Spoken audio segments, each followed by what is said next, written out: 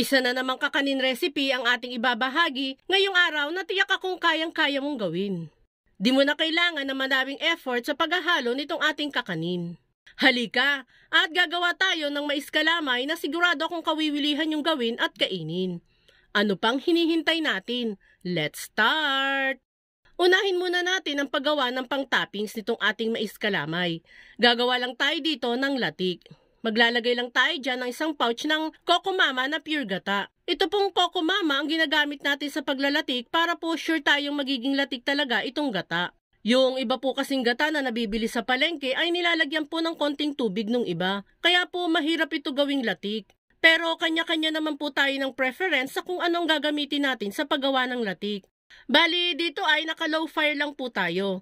Mabilis din po kasing masunog ang latik, guys.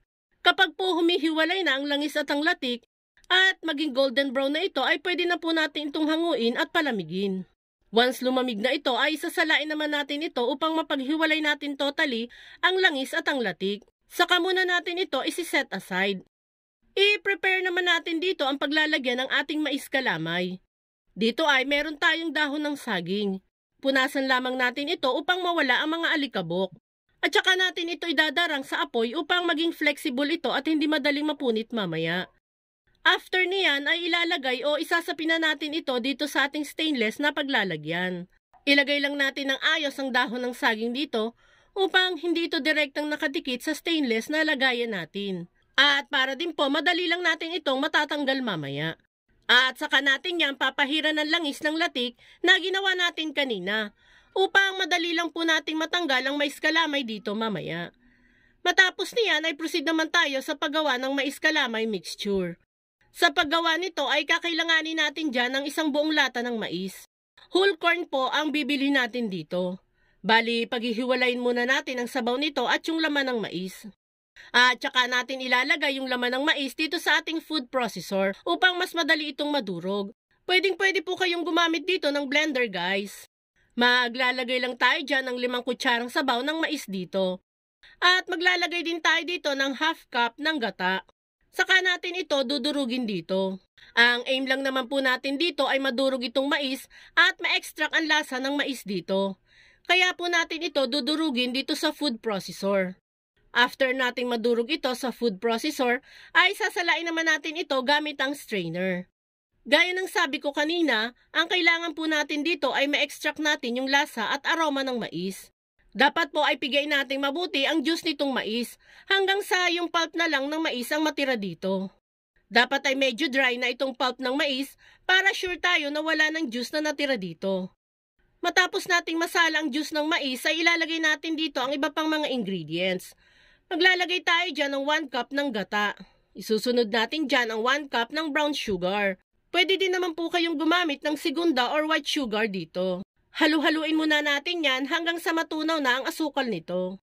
Saka natin ilalagay ang 2 cups ng glutinous rice flour or yung giniling na malagkit na bigas. Halu-haluin lang natin yan hanggang sa maging smooth na ang texture nitong ating mixture. Since medyo pale or malamya ang kulay ng ating mais kalamay, ay magdadagdag tayo dyan ng half teaspoon ng powder food coloring. And since mais kalamay ito, ay dapat yellow food coloring ang ilalagay natin dito. Halu-haluin lang natin yan hanggang sa mamix na natin ang lahat ng mga ingredients dito. Next ay ilalagay na natin ito sa prepare natin kanina na lagayan na may dahon ng saging. Simutin lang natin itong mixture na gamit ang spatula. Matapos niyan ay pwede na natin itong iluto. Dito ay magpapakulo na din pala tayo ng tubig sa steamer. I-steam lang natin itong mais kalamay ng 50 to 60 minutes or hanggang sa maluto ito. After ng 50 to 60 minutes ay maaari na natin itong hanguin. Palamigin lang natin ito ng 10 to 20 minutes. And ready to serve na itong ating yummy mais kalamay. Yung traditional na paggawa ng kalamay is yung maghahalo ka talaga na maghahalo nito hanggang sa maluto ito. Pero dito sa ating recipe ay mas pinadali na po. Maghihintay na lang tayo maluto at pwede na itong kainin. Pwedeng pwede nyo rin po itong ipanghanda sa tuwing may okasyon sa bahay ninyo. Or di kaya naman ay simpleng pang merienda lang. Tiyak na uulit-ulitin nyo ang paggawa nito. Dahil bukod sa masarap na, ay super easy pang gawin ang recipe na ito. Kaya try mo na din gumawa nito. Paano guys? Dito na kami. Diyan na kayo. Bye!